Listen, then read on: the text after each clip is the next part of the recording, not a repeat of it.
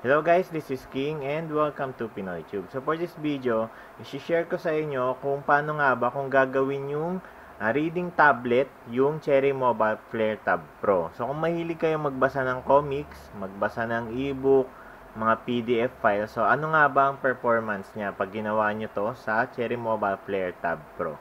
So, stay tuned guys!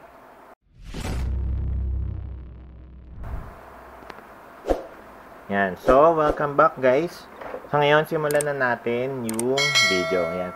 So, sa mga taong mahilig magbasa ng comics, uh, may nababasa ako kasing mga comments tungkol sa uh, kung paano daw yung performance ng Cherry Mobile Flare Tab Pro kung gagawin natin siyang reading tablet or mahilig nga kayo magbasa ng comics. So, unang-una, yung Cherry Mobile Flare Tab Pro is meron siyang 10.1 na size. So, napakaganda siyang uh, gawing reading tablet. Kasi nga malaki yung screen.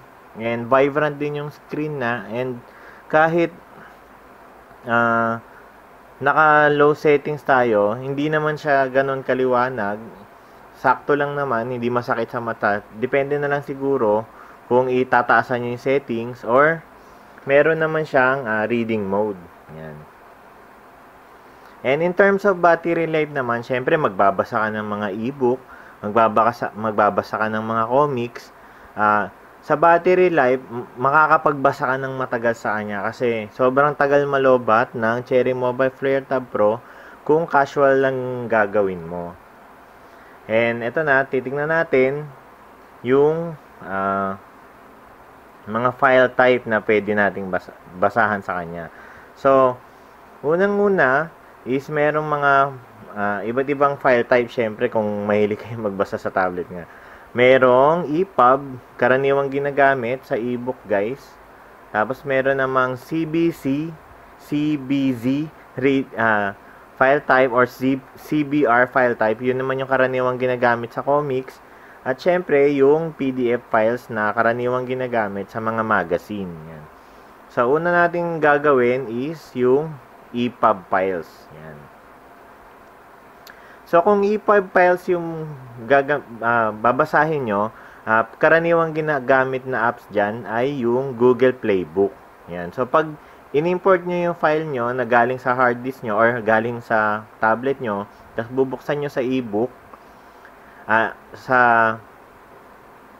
Google Playbook, uh, may import siya dun sa Playbook at ito na nga, tinestingan ko sa same file pala yung na-download ko yan. So, Kiklik natin guys. Yan. So, bubukas siya ng maayos sa Flare Tab Pro. Yan. So, mababasa mo ng maayos yung screen kasi malalaki yung mga letra, hindi ka masyado mahihirapan. And gaya nga ng sinasabi ko, pupunta tayo sa settings, display, Yeah. Kung na, masyadong maliwanag sa tingin nyo yung ilaw, pwede nyo palitan yung contrast niya. Pwede nyo gawing warm, pwede nyo gawing standard. Yan. So, pag warm, at least hindi na masyadong masakit sa mata. Kasi yung standard na kulay, uh, parang medyo bluish siya. Yan. So, madaling magbasa. And sobrang smooth din niya. Yan makikita natin mabilis yung loading and kayang-kaya siya ng Flare Tab Pro. Yan. So, parang nagbabasa ka lang talaga, sobrang smooth niya. Wala kayong problemahin kung EPUB yung file version niya. So, ang gagamitin is Google Playbook. Yan. So, next natin. Paano naman kung uh, mahilig kang magbasa ng comics. So, ito, yung ginamit kong file dito guys ay uh, Marvel Zombies. So, napakalaki ng file size nito. 766 MB yung file size niya. And, ang ginamit kong pangbukas sa kanya ay yung comic screen na app.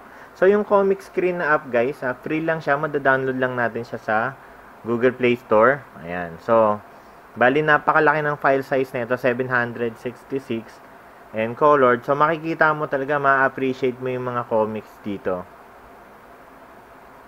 Kasi maganda yung screen, malaki. And vibrant nga yung mga kulay. And sakto naman yung saturation ng screen ng Cherry Mobile Flare Tab Pro. Yan. So, kung mahilig kayong magbasa, marami-rami kayong mababasang comics dito kasi umaabot halos ng 8 hours to 10 hours yung battery life ng Flare Tab Pro. Yan. So, pag binasa niyo yung comics, uh, malaki, malalaki yung letra. Yan. So, napakaganda guys kung gagawin niyo siyang reading tablet. Yan. And, yun nga, smooth naman yung pag-turn ng page kasi kaya naman ng processor. Yan. So, bali yung file type nito guys is CBZ and CVR. Yan. Yan. So, kung mahilig naman kayo magbasa ng, ng magazine, guys, ah, karaniwang ginagamit na file para sa magazine is yung PDF. Yan. So, pag kinlik natin yung PDF, pwede natin buksan siya sa Drive PDF Viewer ng Google. And maglo-load na siya doon and bubukas na siya. So, makikita nyo naman, uh, mag-scroll up lang tayo para makita yung magazine. Yan. So, napakaganda niyang gawing comics or reader, ebook reader.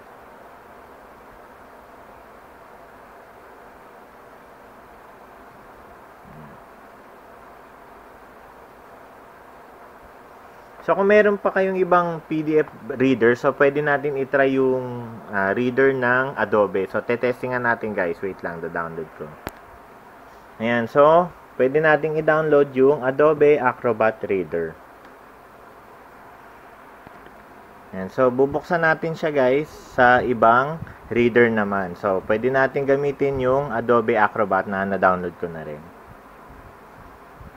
Allow natin.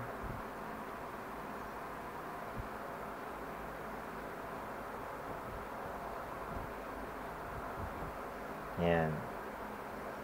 So, kung mahilig din kayo magbasa ng mga magazine, guys, uh, okay na okay yung Flare Tab Pro as a comics magazine yan. So, pag sa Adobe Acrobat Reader, guys, uh, nasa center talaga yung screen. Kasi kanina sa ano, Google, medyo alanganin, parang naka-zoom in pa. So, sa Adobe Acrobat Reader, nakasakto siya sa per page. Yan. So, napakagandang gawing reader yung Cherry Mobile Flare Tab Pro. Maging PDF man yan, uh, e-book man yan, EPUB, or lalo na sa comics. Yan.